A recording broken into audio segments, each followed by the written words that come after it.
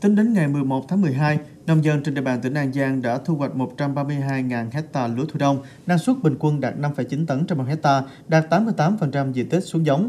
Cùng thời gian này, nông dân trong tỉnh cũng xuống giống gần 90.000 hecta lúa vụ đông xuân 2022-2023, đạt 39% kế hoạch. Theo dự báo của Chi cục Trồng trọt và Bảo vệ thực vật tỉnh An Giang, từ ngày 13 đến ngày 15 tháng 12 năm 2022, trời sẽ trở lạnh, những ngày cuối tuần sẽ có gió mạnh. Do đó, Chi cục khuyến cáo bà con nông dân thường xuyên thăm đồng, tùy theo tình hình thời tiết tại mỗi nơi, bà con có kế hoạch chăm sóc cây trồng tốt hơn, chú ý đến bệnh đậu ôn lá. Đối với lúa trong giai đoạn mạ, chú ý không để ruộng bị thiếu nước, dễ bị bù lạch tấn công.